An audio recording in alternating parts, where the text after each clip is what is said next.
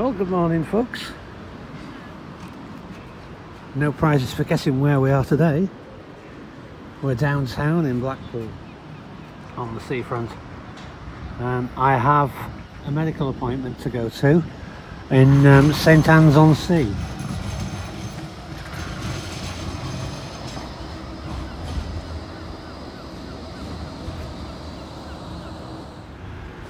And I thought I'd get Bobby Jackson out for a run. Now the fact that we are already here on sea, so to speak, it wouldn't take Sherlock Holmes to realise that the route today is straight down the other way, hugging the coast, straight down to St Anne's. Gives me an opportunity to test out some um, cycle facilities that were upgraded last year and I never got a chance to test them, so I'll try that as well. Um, meanwhile, I thought you haven't seen Bobby for a while. Um, and I'm trying to I'm trying to give Bob Jackson a fair chance really. Uh, because I, I, said last time I was out on it um, I wasn't feeling it. Something wasn't there. It weren't gelling. And uh, yeah so it is this morning really. So I'm hoping that uh, I might get back into it, I might get back into the feel of the bike. Otherwise, I'm either going to have to change things, change the configuration, or um, change the bike. Right, let's go. One thing this bike does do beautifully is roll along.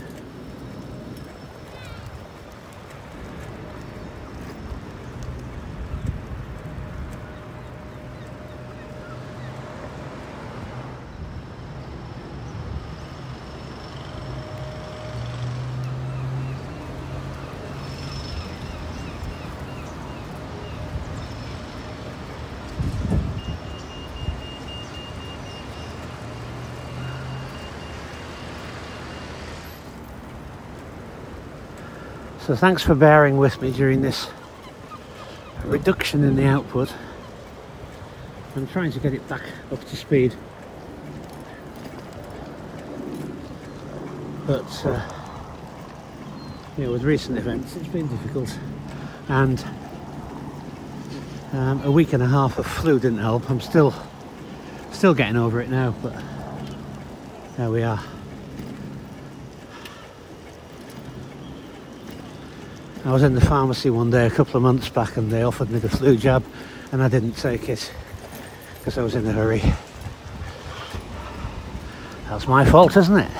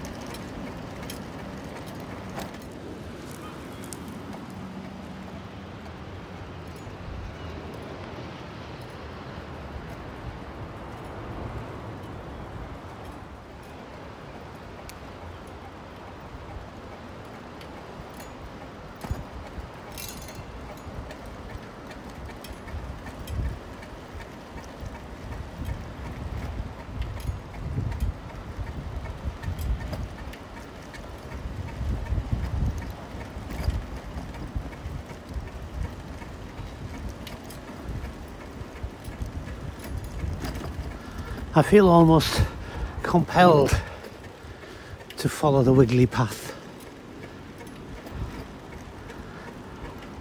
That's the psychological effect that road markings have.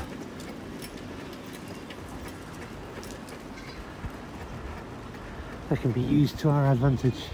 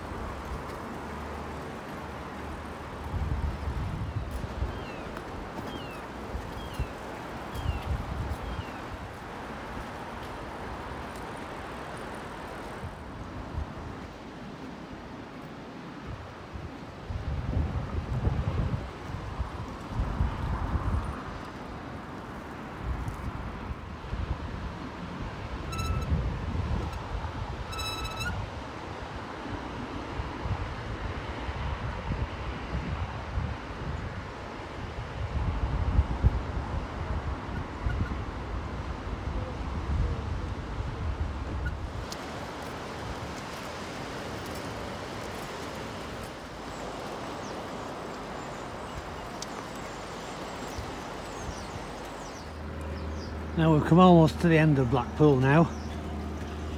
This was the end of the Ride the Lights video if uh, you remember watching that one.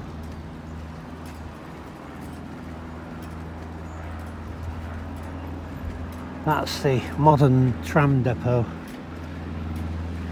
The old vintage trams, the Heritage Fleet, they live in a different depot in town. But this was built for the the new ones which are actually classified as a light rail system.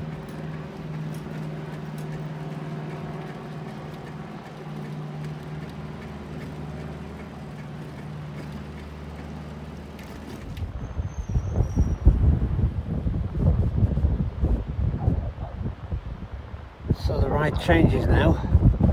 As we go down the snake there where those riders are going. And the other side of the dunes. Heading for St Anne's.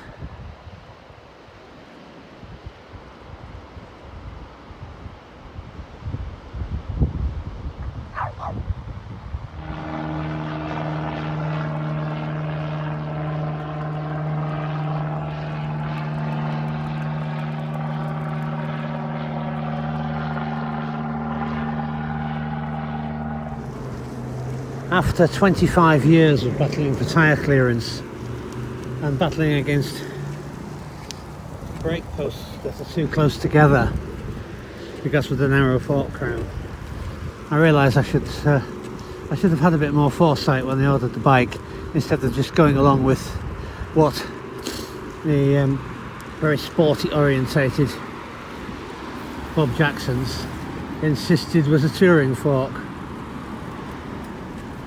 and uh, I think it's the alignment of those brake bosses that's meant that in 25 years I've never been able to stop the front brakes squeaking.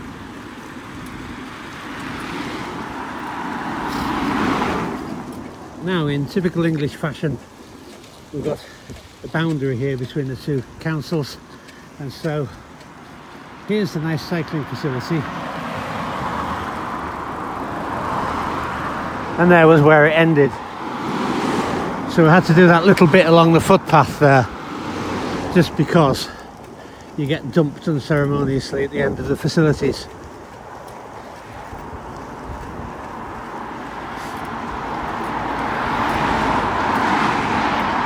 So this is the main coast road and on the other side we have a just a painted dotted so not even mandatory um, lane of death on the road. And on this side we have this nice wide smooth cycle track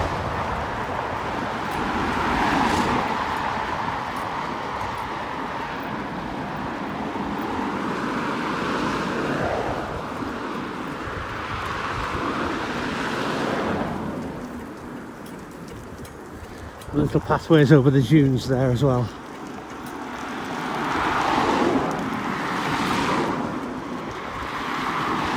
This used to be a place where you could park a vehicle and then they extended this out.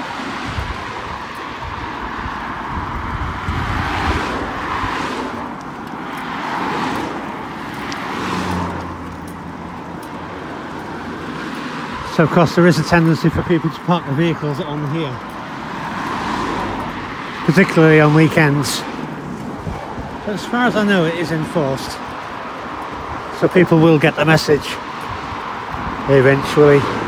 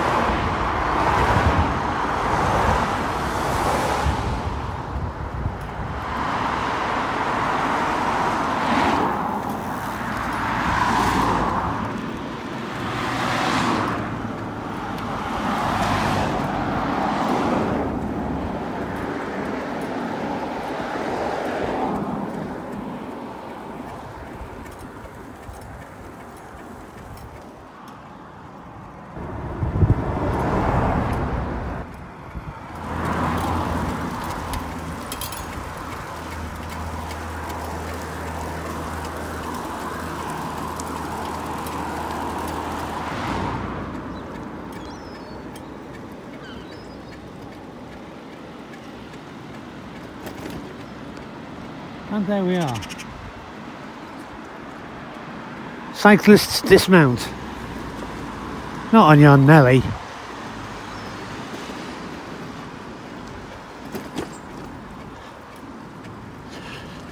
England just can't do it right, can they? They do little bits right and then they just never finish the job. They never join things up. When you delve into it and investigate it, as I have in dozens and dozens of different cases in different places over the years, it almost always comes down to the same thing. Miserable old people who don't want anyone else to have anything that they don't approve of.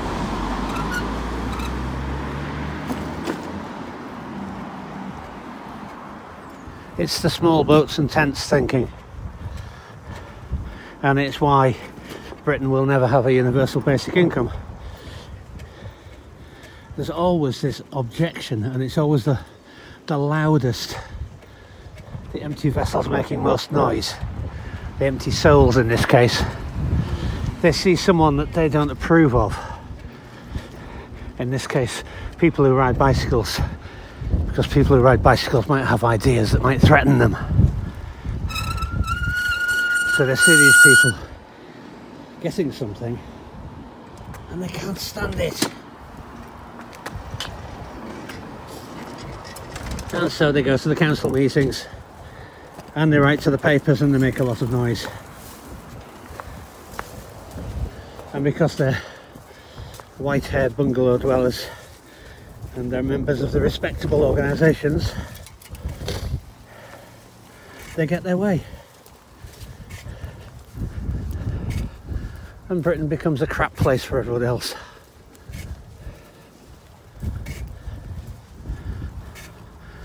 That's my take on the cycle facilities NIMBYs anyway. You can see how much I like them.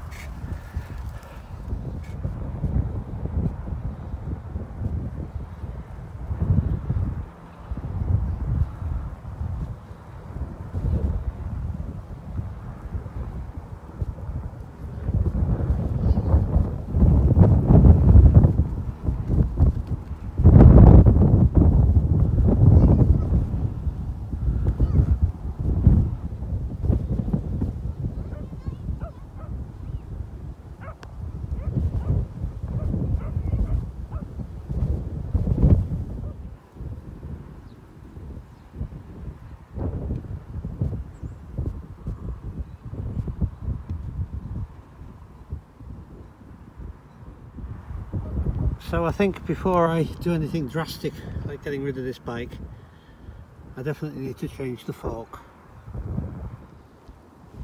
As I've mentioned I do have a fork from a Bob Jackson tandem which has more tyre clearance, a wider fork crown and a little bit more offset as well which will calm the front end down when I'm carrying this front bag which I almost always do.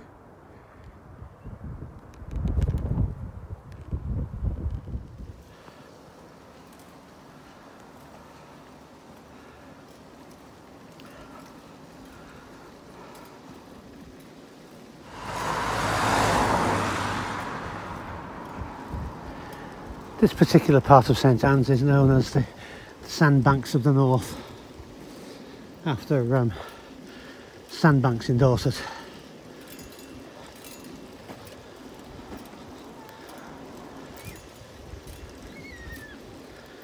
Which is famous for its ridiculously priced houses by the beach.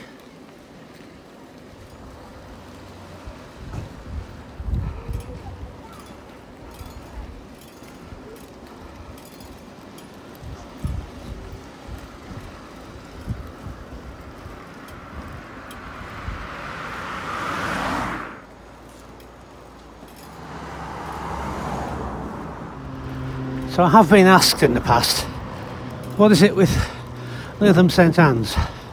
And why do you talk about Lytham and then you talk about St Anne's? Well, Lytham St Anne's is, is kind of a strip along the coast comprising St Anne's to the north, which is where we are now. Then, in between, there's a place called Ansdell, which never seems to get mentioned in the name and then it merges into Lytham. St Anne's is St Anne's by the sea and it was a planned town. As was a lot of Lytham as well, largely built at the behest of the Cliftons of Lytham Hall.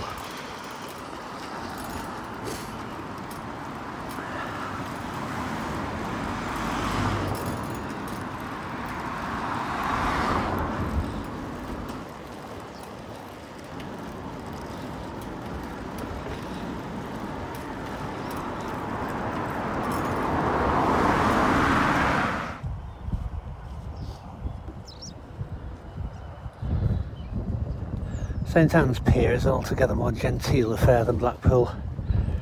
Much more of a period piece, as befits the town really.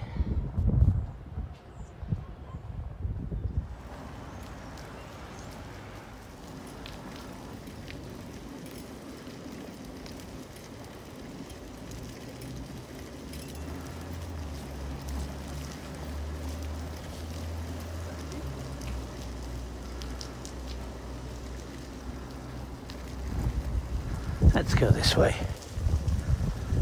Around the boating lake.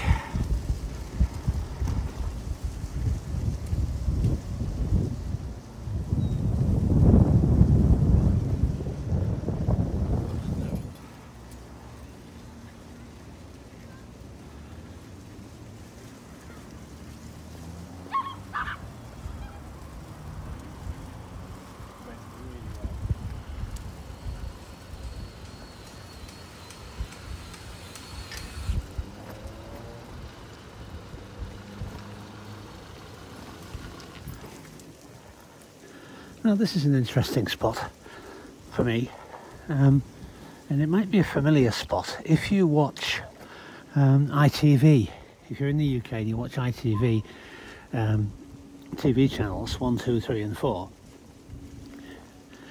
you'll recognise this spot. This is where their channel idents are filmed. Were filmed. Over a, a few mostly rainy days um, in September 22. Um, this was, well, it was set up like an epic film set. The amount of kit they had for channel idents was amazing. And there were hundreds of people as extras out on there, including an ice cream van. And they had little things little scenarios set up and little props set up.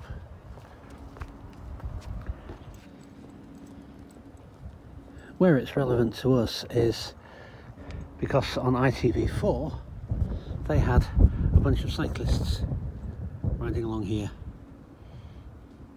Cue video.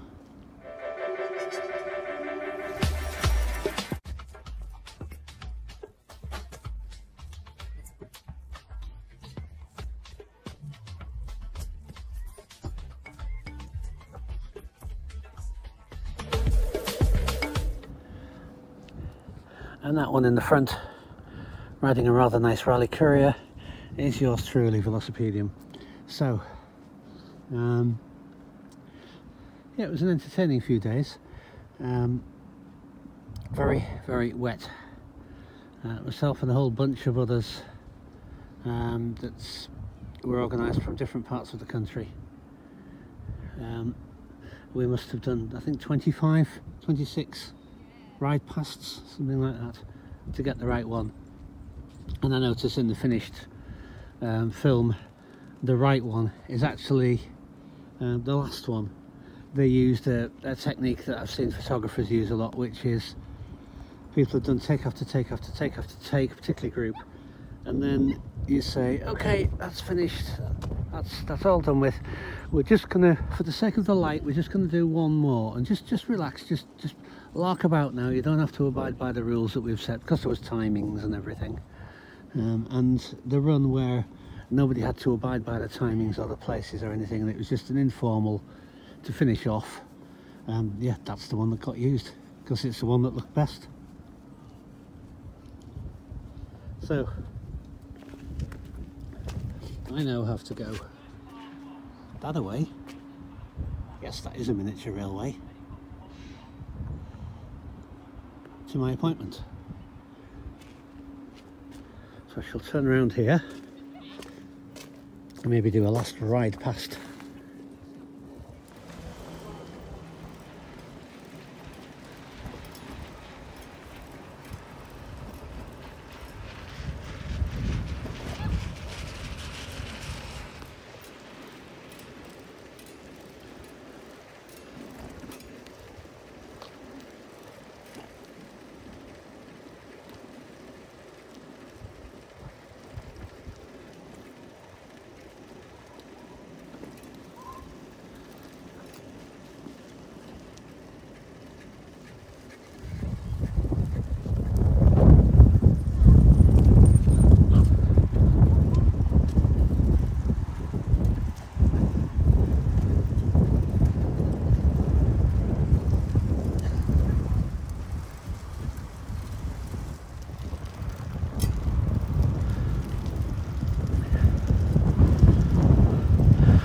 So thanks for coming out here with me.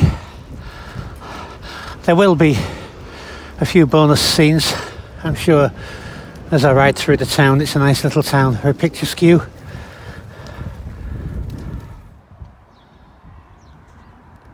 So yeah, the the Grey Gazelle video is coming up. I've been promising it for a while. Why I think you'd be excited about it, I don't know. Um, and been having a bit of a review. I've got to get some bikes out to sort out the flooring in the workshop a little bit. So I think it's about time we had a review. Have a look at each bike and see what I've done recently that you haven't seen. See what's in need of doing. I must ask your opinion on a few matters. So that's two videos coming up today really is just a snatched extra one.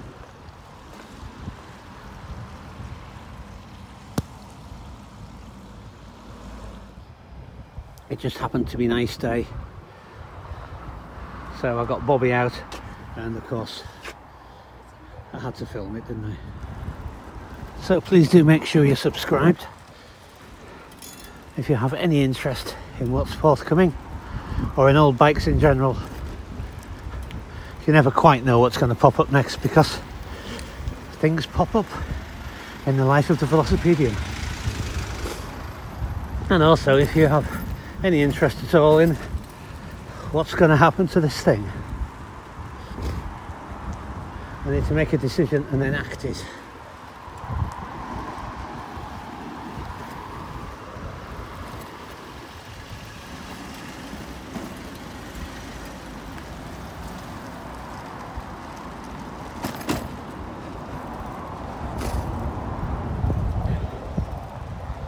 Now I'll leave you with some nice scenes of genteel St Anne's by the Sea. Thanks for coming along and see you again soon. Bye bye.